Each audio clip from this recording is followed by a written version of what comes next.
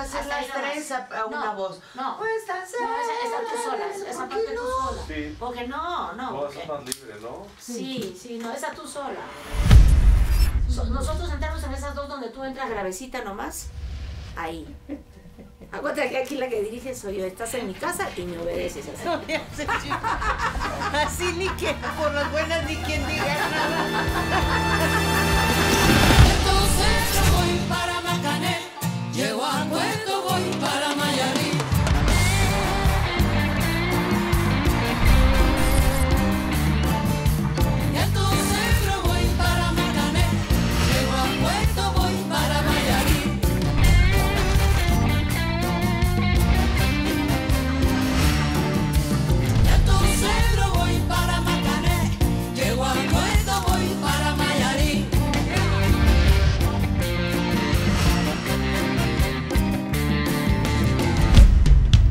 Yo amo cantar.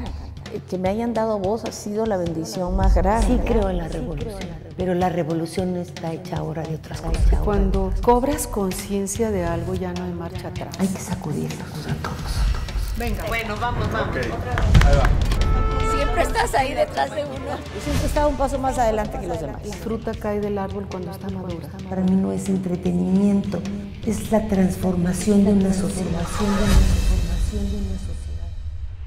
Tantos siglos, tantos mundos, tanto espacio y coincidir.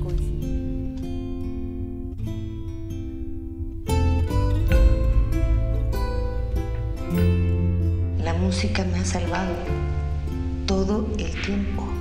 Se están saliendo todos mis lastimaduras, mi dolor, mi- mis traumas y los tengo que superar para subirme y engrandecerme en el escenario. ¿No? Como la infancia nos, nos puede marcar tanto, ¿no? ¿Quién dijo que todo está perdido? Yo vengo a ofrecer mi corazón. Uy, mi mamá me cantaba la señora Santana.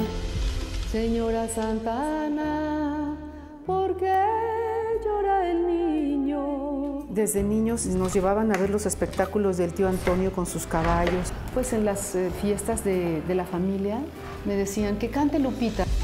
Ay, qué laureles tan verdes, qué rosas tan encendidas.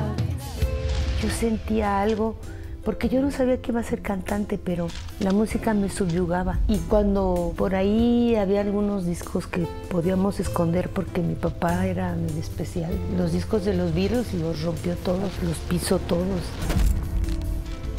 Mi papá no es que fuera una mala persona, pero yo creo que era bipolar, tenía un problema grave de conducta. Y yo siempre me amanecía en domingo, decía, ay, qué bonito el domingo, pero yo veía unas caras de este tamaño y decía, ¿por qué yo no quiero ser adulta? Porque los adultos siempre son muy enojones. Bueno, según mi mamá, yo empecé a cantar al año y medio. Comprenderás que no me acuerdo. Teníamos una casa muy, muy, muy pobre, solo teníamos luz, no teníamos agua. Entonces mis hermanos y yo teníamos que cargar agua todos los días. Y nosotros nos daban caldo de, de- de huesos de pescado, era, para lo que alcanzaba. Éramos ocho hermanos. Voy a regalarme un cuento. Solamente nos podían comprar un par de zapatos a cada uno por año. Como crecía el pie, pues te, te cortaban la puntita, la punta del zapato para que los dedos salieran por ahí, ¿no? Mis mañanas y mi madre resucitan y se van.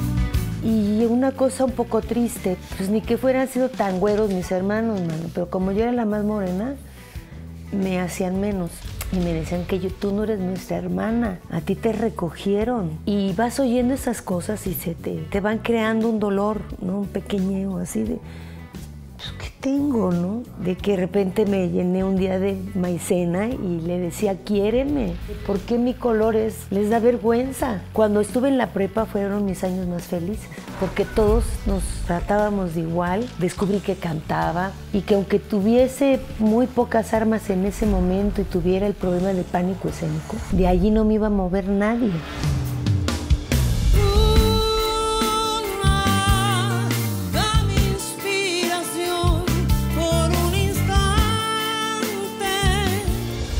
Me casé muy chica, a los 18 años, ya nunca regresé. La verdad me dio escuela de vida irme y ser independiente y ganarme mi dinero y arreglar mi coche como mecánica. Me metí a un taller mecánico para que no me costara. Me metí a la UNAM a estudiar sociología, pero empecé a cantar.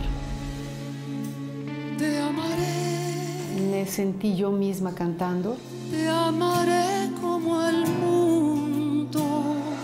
A los cinco años, la maestra de la escuela tenía que presentar un número artístico por la velada del Día de la Madre. Ella, en lugar de escoger a la niña más talentosa, que naturalmente era yo, había decidido que la niña que entrara en un vestidito de bailarina flamenca era la que iba a representar al salón. Yo era una niña muy gordita. Yo dije, yo no voy a entrar en ese vestido, pero ni aunque me... Y entonces ahí dije, yo me voy a poner una de esas fajas y me voy a hacer la cinturita y voy a entrar en ese vestido. Me puse encima el uniforme y yo no podía ni respirar. Como el vestido era de, de bailarina flamenca, la maestra dijo que tenía yo que cantar una canción española. Me dejaron de herencia mis padres, además de la luna y el sol, un vestido cuajado de lunares que conmigo todo el mundo corrió. Pues imagínate, me convertí en la estrella de la escuela. Das de cuenta que yo hubiera cantado toda mi vida, o sea, fui entendiendo la responsabilidad de lo que era cantar a partir de eso. Ya solo no estarás, ya solo no estaré, ya terminó la noche. Vayamos otra vez felices como ayer cuando nos conocimos.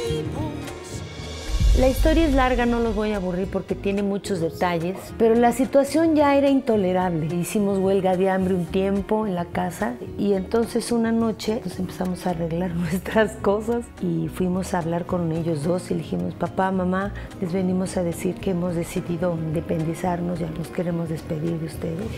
Y la respuesta de mi papá fue agarrar un palo y darnos una golpiza.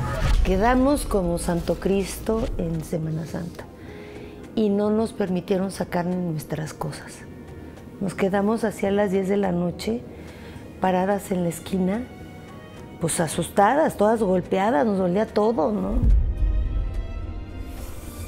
No, mi papá no. Mi papá era un hombre que siempre lo veías con un libro en las manos. Y entonces cuando llegué le dije, papá, quiero hablar contigo. Dejó su libro. ¿Qué pasó, Guadalupita? Quiero que sepas que voy a dejar la universidad. Me quería yo morir. Y la respuesta de él fue maravillosa.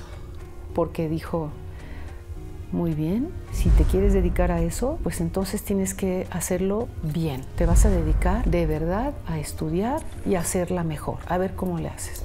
Híjole, me cayó, de verdad me cayó una lápida en los hombros porque pues me responsabilizó a mí, ¿no? De, a ver, oye, tú sal adelante.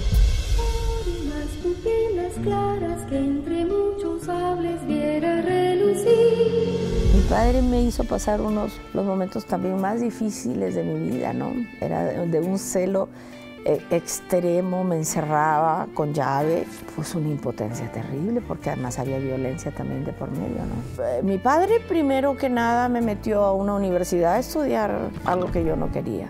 Yo estudié cinco años ingeniería pesquera.